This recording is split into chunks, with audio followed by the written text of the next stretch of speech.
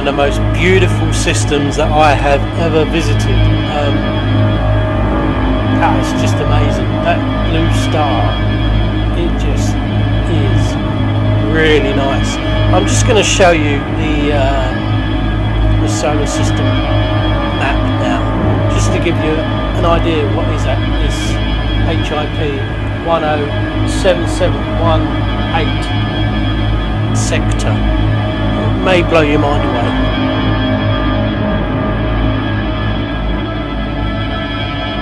It will blow your mind away. To have so many stars in one sector is just amazing.